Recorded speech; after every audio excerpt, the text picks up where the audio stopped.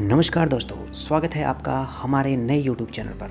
तो चलिए आपको थोड़ी गोगा मेड़ी की यात्रा करवाते हैं। गोगा मेड़ी हनुमानगढ़ ज़िले के नौहर तहसील में स्थित है। यह गोगा मेड़ी का रेलवे स्टेशन है, जहाँ पर बहुत दूर दूर से यात्री गुरु गोरखनाथ और जहारवीर गोगा जी के दर्शन करने के लिए आते रहते हैं। गोगा मेड़ी दिल्ली से 250 किलोमीटर दूर और जयपुर से 370 किलोमीटर दूर है। गोगामेड़ी के रेलवे स्टेशन से लगभग एक किलोमीटर दूरी पर जहारवीर गोगा जी का मंदिर है। गोगामेड़ी में यात्रियों के ठहरने के लिए बहुत सी सुविधाएँ उपलब्ध करवाई गई है। गोगामेड़ी का प्रमुख मंदिर 950 वर्ष पुराना है। इसे 1911 में बीकानेर के महाराजा श्री गंगा सिंह द्वारा तैयार और पुनः निर्माण करवाया गया था। गोगा जी के पुजारी चायल जाति के मुस्लिम हैं। मंदिर एक बहुत ही धर्मनिरपेक्ष प्रकृति का है। यह सभी जाति, धर्म, समुदाय, पंथ, सभी हिंदू और मुस्लिम का सम्मान करता है। गोगामेड़ी का विशाल मेला भाद्रपद माह के कृष्ण पक्ष की नवमी को लगता है। गोगा जी गुरु गोरखनाथ के परम शिष्य थे। गोगा जी का जन्म विक्रम संवत एक हज़ार तीन में चूरू ज़िले के ददरेवा गाँव में हुआ था। गोगामेड़ी में गोगा जी का समाधि स्थल बना हुआ है। गोगा जी राजस्थान के लोक देवता हैं, जिन्हें जहारवीर के नाम से जाना जाता है। इन्हें हिंदू, सिख और मुसलमान तीनों समुदाय के लोग पूजते हैं, जो एकता का प्रतीक है। गोगा जी को सांपों के देवता के रूप में भी पूजा जाता है। लोग उन्हें गोगा जी गुगावीर, जहारपीर, राजा मंडलिक व जहारपीर के नामों से पुकारते हैं। गोगा जी मेला बहुत आकर्षक होता है, जिसमें आप तरह तरह की दुकानें, झूले देखने को मिलते हैं और आप बार्गेनिंग भी कर सकते हैं। मंदिर में ही गोगा जी की माता बाछल और गोगा जी की पत्नी सीरियल देवी की समाधि पास पास में बनी हुई है। पूरे साल में गोगा जी के दर्शन करने लाखों श्रद्धालु लगभग आते रहते हैं। राजस्थान सरकार द्वारा गोगा जी के मंदिर को एक विशाल रूप दिया गया।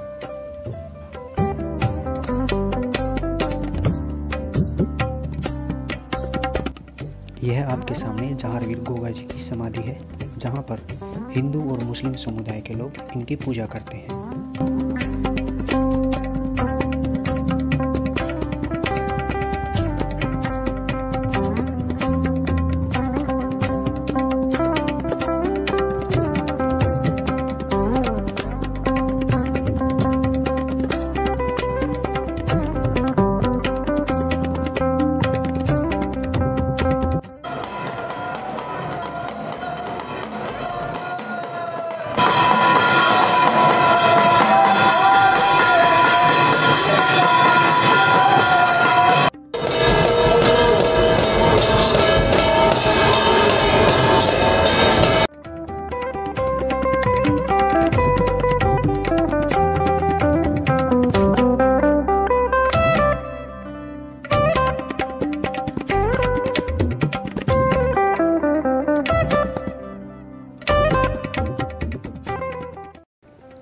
पर आने वाले श्रद्धालु पहले गोगा जी के गुरु, श्री गुरु गोरखनाथ के दर्शन करते हैं। उसके बाद में गोगा जी के दर्शन करने के लिए गोगा मेड़ी में आते हैं। गुरु गोरखनाथ का मंदिर गोगा मेड़ी से एक किलोमीटर की दूरी पर बना हुआ है। यहाँ पर गोगा जी के जीवन परिचय के बारे में स्मारक स्थल बना हुआ है। ये जो सामने गेट है, ये स्मारक स्थल है। अब यहाँ से हम गुरु गोरखनाथ के मंदिर की तरफ़ चलते हैं। इस बीच रास्ते में काफ़ी होटल्स, रेस्टोरेंट व धर्मशाला बनी हुई है, जहाँ पर आने वाले श्रद्धालुओं के लिए ठहरने की उचित सुविधाएँ कम रेट पर की गई है। रास्ते में कुछ खरीदारी करने के लिए दुकानें बनी हुई है, जो बेहद आकर्षक व मनमोहक है। गोगामेडी के बस स्टैंड से थोड़ी दूर पर सिरसा रोड पर गुरु गोरखनाथ का मंदिर बना हुआ है। गोगामेडी भादरा से 17 किलोमीटर और नोहर से 31 किलोमीटर है। गोरखटीला का निर्माण कार्य साल भर चलता रहता है।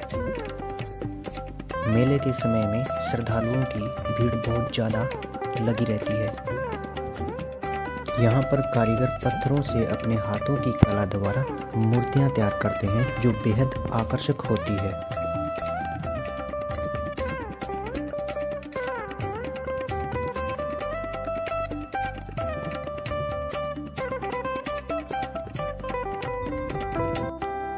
अभी यह आपके सामने गोरख टीला का प्रमुख द्वार है। तो चलिए इसके अंदर चलते हैं। यही मुख्य द्वार के आसपास एसबीआई बैंक और पुलिस स्टेशन बना हुआ है। गोरख टीला का मंदिर नाथ संप्रदाय का है। नाथ पंथ के नौ सिद्ध हुए हैं। उनमें से सबसे प्रमुख गोरखनाथ हैं, जो एक सिद्ध योगी थे। इस स्थान को लोग गोरखटीला के नाम से जानते हैं। यहाँ पर आज भी उनका अग्नि तप स्थान यानी धुना यहाँ पर मौजूद है। इस मंदिर में भगवान शिव और भैरू जी और काली माता का मंदिर बना हुआ है और कुछ समाधि भी यहाँ है। यहाँ पर बड़े ऊपर के रास्ते बनाए गए हैं, जो मेले के समय श्रद्धालुओं की ज़्यादा भीड़ होने पर इससे होकर दर्शन करने के लिए मंदिर के अंदर प्रस्थान करते हैं। मंदिर परिसर में 30 से ज़्यादा सीसीटीवी कैमरे लगे हुए हैं। मेले के दौरान किसी अप्रिय घटना के दृष्टिगत चौकसी के लिए इससे मेले की हर एक गतिविधि पर नज़र रखी जाएगी। मंदिर के आसपास बहुत सारी प्रसाद की दुकानें बनी हुई है। बीते वर्ष गोरखटीला का निर्माण कार्य प्रगति कर रहा है और इससे गोरखटीला को एक नया लुक मिला है। तो चलिए, हम अंदर चलकर मंदिर के दर्शन करते हैं। मंदिर में दर्शन करने के लिए मंदिर के द्वार सुबह पाँच बजे खुलते हैं और रात्रि नौ बजे तक रहते हैं। नौ बजे के बाद मंदिर के पट द्वार बंद हो जाते हैं। गोरखटीला मंदिर के बाल योगी महंत रूपनाथ जी हैं, जिनकी देखरेख में मंदिर का निर्माण बहुत खूबसूरत तरीके से करवाया गया है।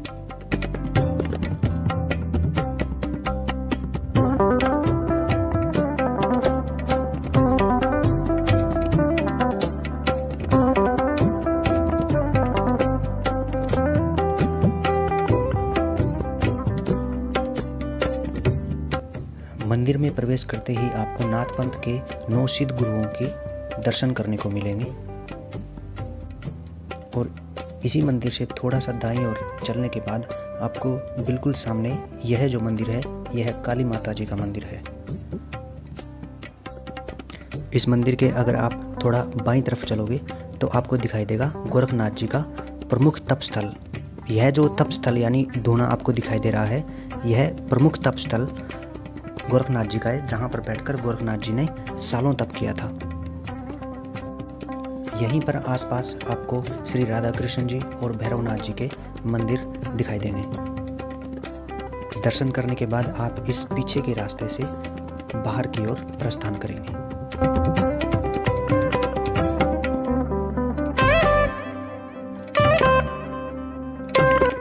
मंदिर के बाहर एक विशाल तालाब बना हुआ है, जिसमें स्नान करने के बाद आप दर्शन करने के लिए मंदिर में जा सकते हैं।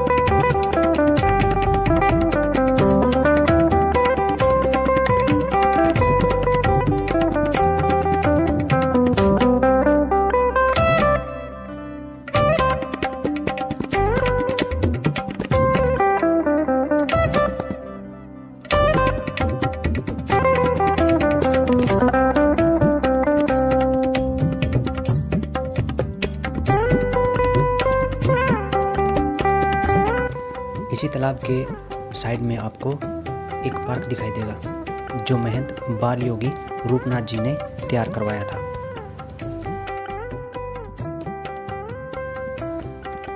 पार्क बहुत सुंदर और आकर्षक बनाया गया है, जहाँ पर बैठकर आप मनोरंजन कर सकते हैं और बच्चों के खेलने कूदने के लिए झूले लगाए गए हैं।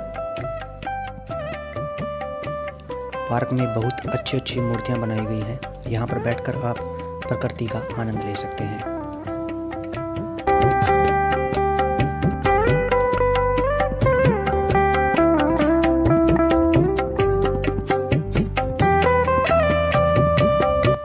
इसी पार्क में आपको कैलाश पर्वत पर बैठे भगवान शिव के दर्शन होंगे।